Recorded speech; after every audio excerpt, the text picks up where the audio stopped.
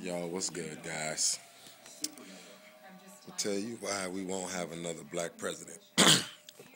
Get right into it. We won't have another black president because you'll never find another perfect Negro ever again in our lifetime. You will never find somebody who moved up in the ranks of politics without owing somebody at least $5. It's not going to happen. We won't have a black president ever again in this lifetime because we as black people still can't believe that we got the nigga in the first time. There's a lot of things that Barack Obama has done that has questioned if he's really even black. That's what we have to look into.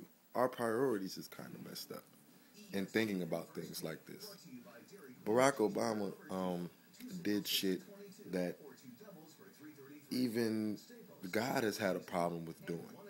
Getting Israel and the Gaza to stop fighting, the Israelis and the Palestinians. When he got in office, you remember, they stopped war for a minute. They looked over at America and was like,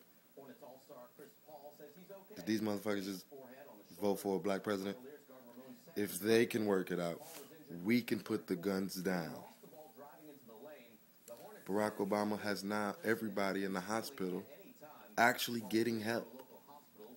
White people are afraid. Black people are afraid. I went to the doctor the other day just for a minor cough, just to see what they were going to do. They didn't ask me for insurance. They didn't ask me for money. They gave me some good drugs and told me, have a good day. God bless America. That's why we'll never have another black president. You know another reason why we'll never have a black president? Black people, we have been waiting for him to just do some nigga shit. And he just won't. We've been waiting for him to just get on national TV during his State of the Union address and just tell these white motherfuckers, shut the fuck up. Shut up! But he hasn't done it. He's too cool, which makes us believe he's not black.